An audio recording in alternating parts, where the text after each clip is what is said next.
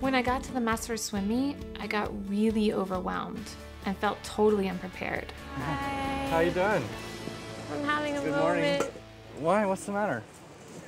I don't know. I just got really emotional when I got here. When I first came in and saw Mia today, she looked pretty nervous. I'm feeling like I'm not owning it yet enough. Mm-hmm.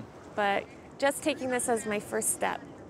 Signing up for the meet and showing up at the pool is one of the hardest things I've ever done. And at this point, I just want to get through it. You'll be fine. Just, you know, just have fun. It's extremely important for me to be there for Mia because this is her first swim meet since her paralysis. It's huge. So are, is this an able-body race? I thought this was the disabled community. What? You freaking rock, Mies. Let's go to the other side and cheer this girl on. I also know that Auti's been going through a lot lately, so it's really good to see her. I'm glad she's taking a step back to figure out exactly what she wants before she makes any decisions about having a baby.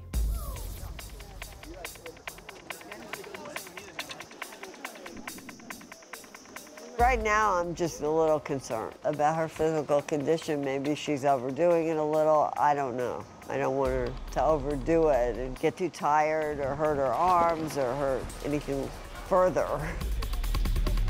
Come on, Mia!